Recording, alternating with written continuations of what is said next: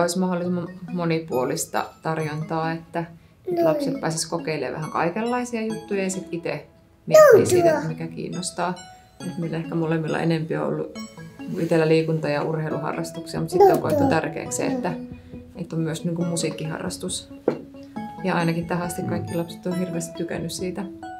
Joo, kyllä se mun mielestä on mennyt aika sujuvasti se työjako, että jompikumpi sitten, tai kumpi on päässyt, ne on lähtenyt sitten mukaan. Ja, tota, niin kuin Annu sanoi, niin just se, että on niin kuin mahdollisuus siihen musiikkiharrastukseen, mitä minulla esimerkiksi ei ole niin omasta lapsuudesta ollenkaan.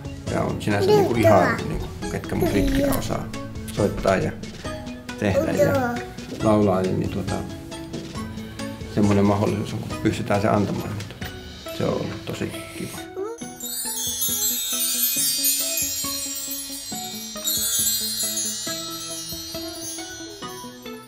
No se varmaan näkyy oikeastaan niin kuin arjessa sille, että ei meillä ole mitään, että nyt kaikki yhdessä lauletaan tai soitetaan, mutta jatkuvasti joku loruilee tai laulaa tai tekee jotain rytmejä ja sitten ne samat kappaleet, kun on ollut vaikka monien muskareissa, niin sitten ne on tuttuja, että jos vaikka Elena aloittaa laulamaan, niin Petu voi tulla mukaan.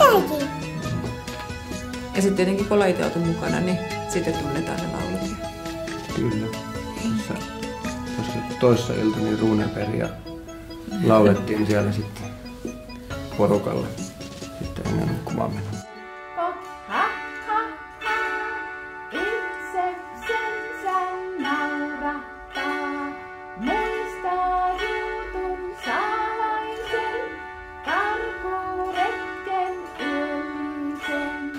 No, kyllä se välillä vaatii vähän semmoista logistista suunnittelua.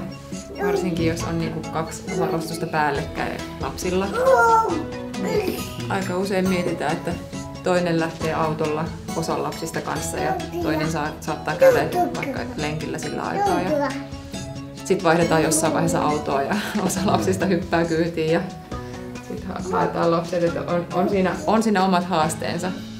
Kyllä. Mutta sitten taas ajattelet, että niin kauan kun lapset on itse tosi aktiivisia ja ne haluaa päästä harrastuksiin, vaikka ne muskariin, niin, niin mielellään sitä sitten kuskaa ja järjestelee niitä asioita.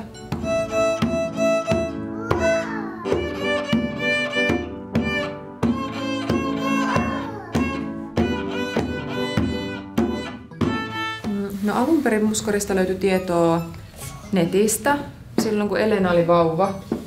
Ja ekaa kertaa ajattelin, että jotain harrastuksia olisi, niin sitten vaan olin kuullut, että konservatori järjestää muskarin toimintaa. Tai olin kuullut kavereilta, että, että käydään muskarissa. Ja sitten katsoin netistä konservatorion sivuilta infoa.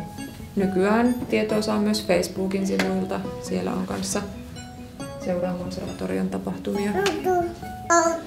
No, mä oon kokenut, että muskarista on ihan tosi monenlaista hyötyä. Paitsi se, että lapsi saa valmiuksia semmoiseen musiikilliseen toimintaan ja oppii rytmiä ja laulamista ja liikkumista ja vaikka motorisia taitoja sinne samalla, mutta sitten ihan hirveästi myös niitä semmoisia sosiaalisia taitoja. Tuntuu, että kaikki lapset on saanut hirveästi kavereita muskarin kautta, mutta sitten myös, myös ollaan vanhemmilla itse tutustuttu moniin, moniin muihin vanhempiin tätä kautta. Ja sitten semmoisia yleisiä taitoja, mitä elämässä tarvitaan. Oma vuoro odottamista ja toisen huomioimista ja arvostetaan toisten tekemisiä ja kuunnellaan, kun toiset esittää. Ja ne on mun mielestä tosi tärkeitä juttuja. Ja ne kaikki muutkin kuvaa se semmoinen musiikillinen kehitys